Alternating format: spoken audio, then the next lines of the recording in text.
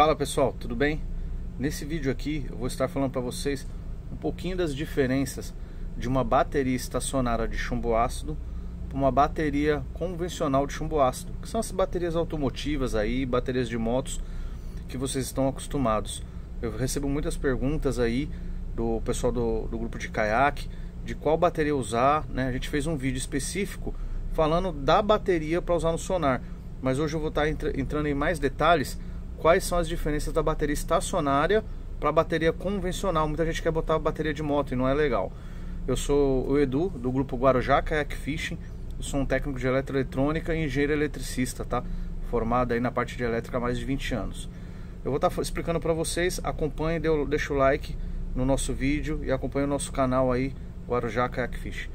Bom, galera, primeira coisa, né? Pra gente usar no sonar, eu já vou explicar já vou falar logo de primeira mão, nós utilizamos as baterias estacionárias. Eu vou te falar agora quais são os benefícios e os malefícios, tá? As vantagens e desvantagens de uma bateria estacionária e as vantagens e desvantagens de uma bateria comum de moto de carro.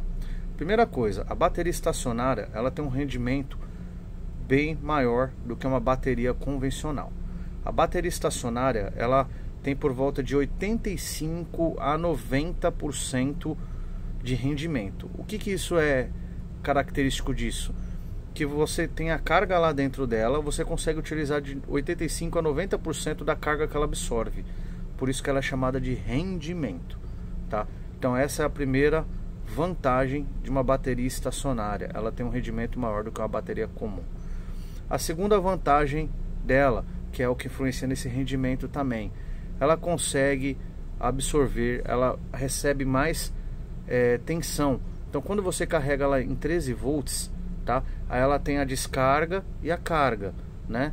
Então, como ela tem o melhor rendimento, ela vai conseguir te apresentar uma tensão maior de utilização, né? Você carrega ela por volta de 13.4, 13.2, depende da sua fonte que você está carregando a sua, sua bateria. Mas na hora de você entregar para o seu sonar, você vai estar entregando de 12.6 volts a 12.8 volts. Então essa é uma característica boa da bateria estacionária. Ela te apresenta uma tensão maior para a utilização do seu sonar. Com isso, como a tensão é maior, ela vai demorar mais para estar descarregando, porque ela tem uma tensão maior. Quando você tem uma tensão maior com a mesma corrente, você vai ter uma potência maior no seu sonar. Então ela vai demorar mais para estar descarregando. A terceira vantagem da bateria estacionária é que é empregado na sua composição é, equipamentos lá dentro, né? O, com seus materiais, materiais e densidades de pureza maior, mais nobres. Então você tem placas mais grossas, você tem chapas né, de gaiola separando elas. Então isso daí vai te trazer um, uma vantagem, que seria a próxima vantagem, então, nós temos a terceira vantagem é que você está usando materiais mais nobres nessa bateria, tá bom? E aí essa terceira vantagem é a que vai para a quarta. Como você tem materiais mais nobres, você tem o ciclo de carga e descarga mais longo.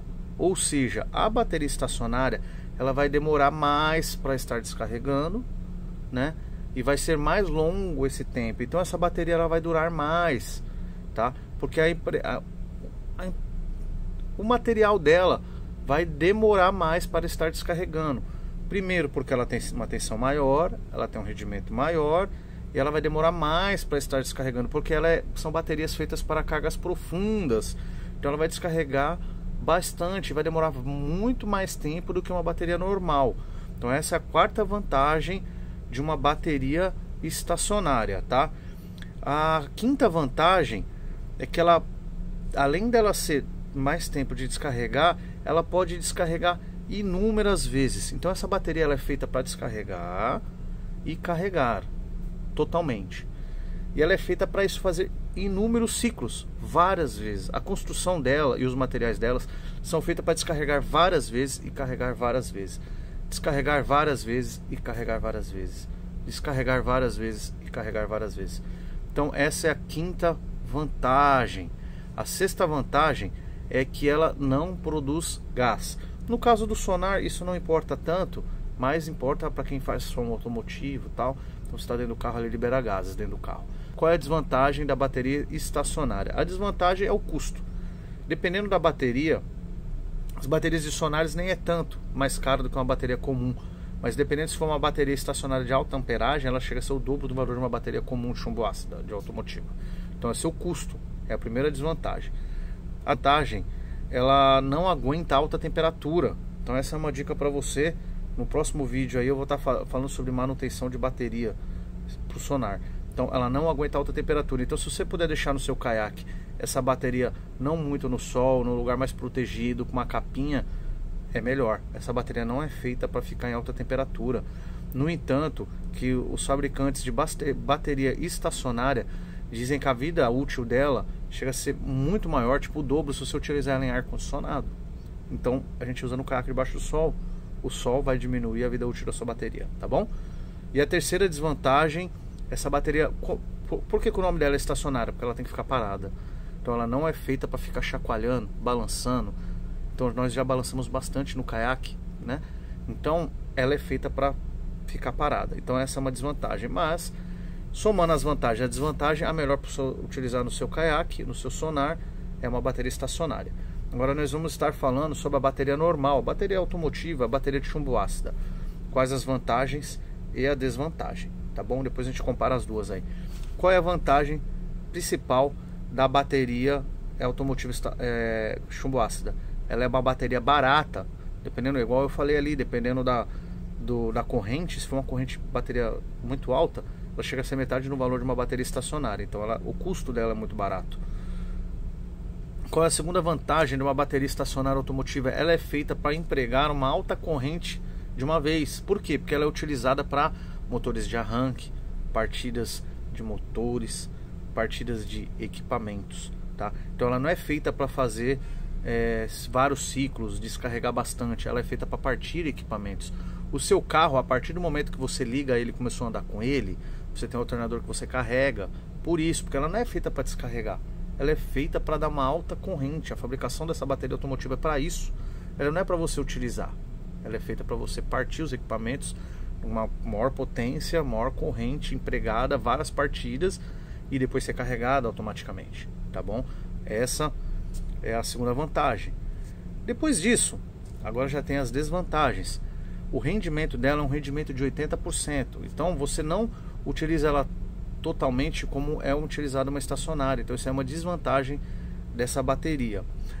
Outra desvantagem também muito vai atrapalhar bastante a gente no sonar a tensão dela não é 12.6, 12.8 igual a estacionária, ela é uma tensão de 12 volts, 11,8 volts. Então assim que você começa a utilizar ela, ela já está com a tensão mais baixa, 11.8, 12. Então consequentemente ela vai durar menos tempo, tá ok? Então ela não é igual a tensão lá da estacionária, tá? Ela é bem mais baixa. Então isso aí é um, é um grande problema para gente. O maior problema de todos para você não utilizar uma bateria automotiva ou de moto para o seu sonar, ela não é feita para fazer ciclos profundos. O que, que isso diz, Edu? Isso aí diz o seguinte: se você pegar uma bateria de carro e de moto e ficar descarregando ela e carregando ela, ela vai dar pau, ela vai dar problema, ela não vai funcionar. Depois que você começar a descarregar e carregar, descarregar ela totalmente e carregar, ela vai dar problema. A sua composição não é feita para isso. Como eu falei, ela é feita para partir motores, partir equipamentos, dar uma energia para o equipamento numa partida. Tá? E depois ela começa a ser carregada. Então ela não é feita igual o sonar, igual para o motor elétrico que vai descarregar, depois você leva para casa e carrega. Então você vai descarregar e carrega. Então essa é a principal desvantagem para você não utilizar a bateria automotiva no seu sonar. Então, ó, salientando, estacionária 85 a 90%, tá, de rendimento. Bateria automotiva 80%. Tensão mais alta na estacionária 12.6, 12.8. Bateria automotiva entre 12 e 11,8 volts. Densidade de materiais mais nobres na bateria estacionária, tá ok? Na bateria automotiva, materiais mais simples e mais baratos. Bateria estacionária feita para fazer ciclos profundos. A bateria automotiva não é feita para fazer ciclos profundos. Ou seja, descarregar muito. Bateria estacionária é feita para descarregar e carregar várias vezes. Bateria automotiva não é feita para isso, tá ok? e produz gases, né? A bateria automotiva e a bateria estacionária não produz gases. Então, galera, eu consegui nesse vídeo aqui entrar em mais detalhes das diferenças das baterias estacionárias para as baterias de carros automotivas, tá? As de chumbo ácido. As duas são de chumbo ácido.